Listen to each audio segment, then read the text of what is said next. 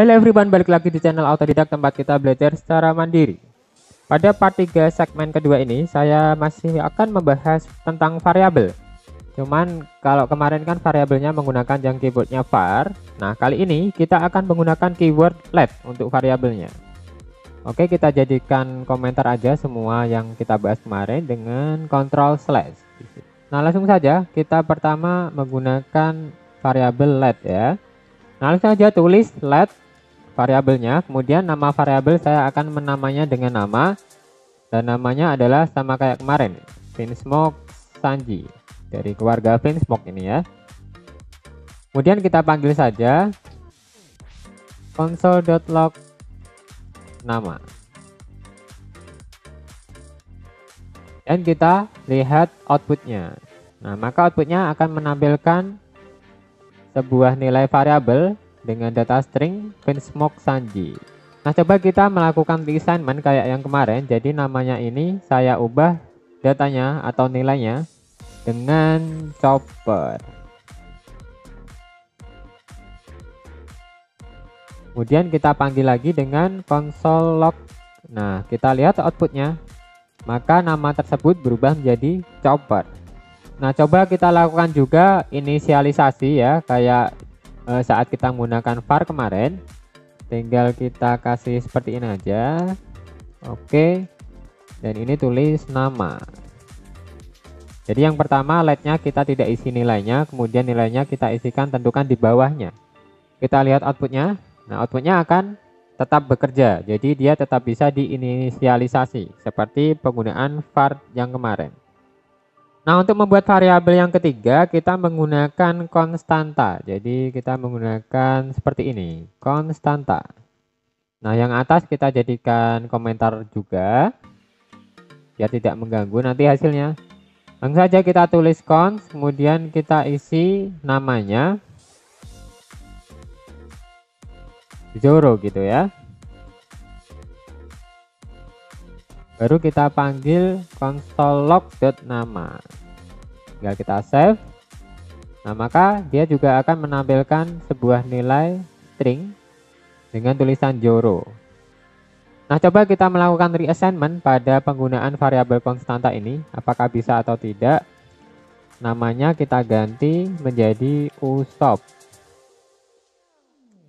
baru kita console log lagi.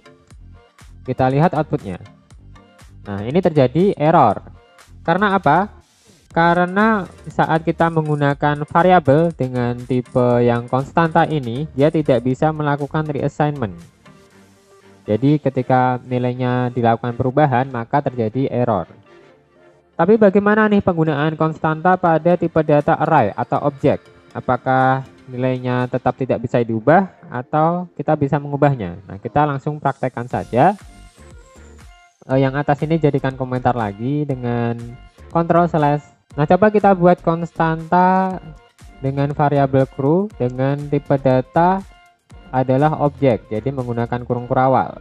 Nah, di situ di dalam variabel crew saya akan kasih indeks nama. Dia adalah misalkan namanya Robin gitu, kasih koma. Kemudian di dalam variabel tersebut juga ada indeks berupa umur. Misalkan saya kasih 20 tahun. Nah, kita tinggal panggil dengan console log. Kita save, kemudian kita lihat outputnya.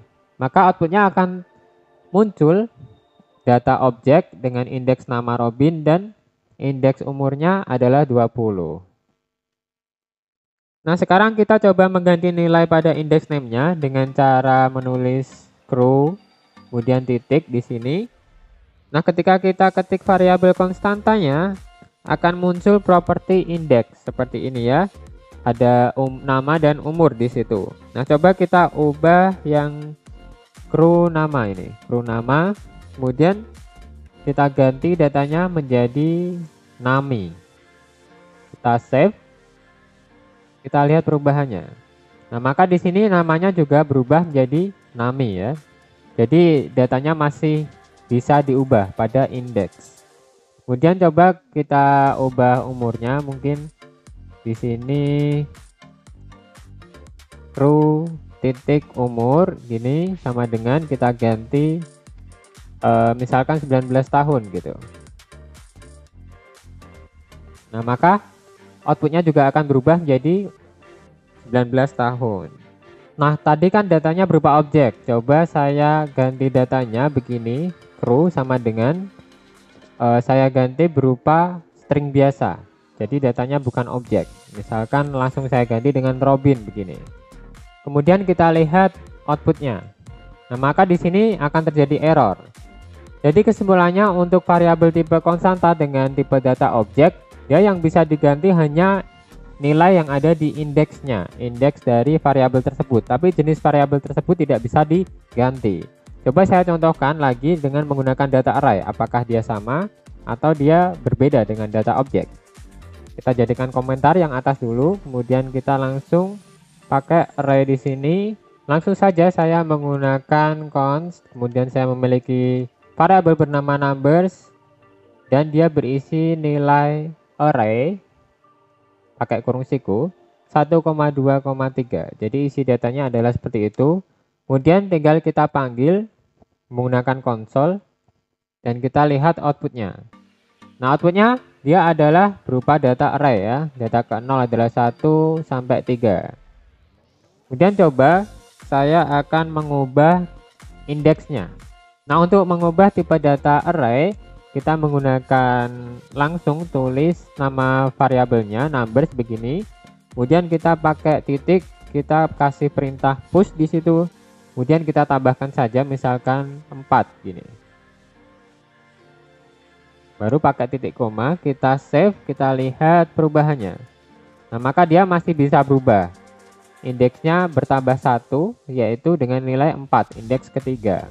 Namun ketika saya coba ubah tipe datanya, misalkan saya ganti numbers ini tipe datanya dengan sebuah data objek A bernilai 1, misalkan seperti ini, kemudian B bernilai 2, dan C bernilai 3. Maka ketika saya lihat outputnya, dia akan terjadi error. Jadi dia sama ya seperti tipe data objek yang bisa diubah hanyalah indeksnya, namun tipe datanya tidak bisa diubah untuk menggunakan variabel konstanta. Nah, usahakan dalam penggunaan nama variabel harus sedeskriptif mungkin agar kita tidak bingung sendiri saat ngoding ya. Apalagi jika task atau job kita menggunakan data yang sangat banyak.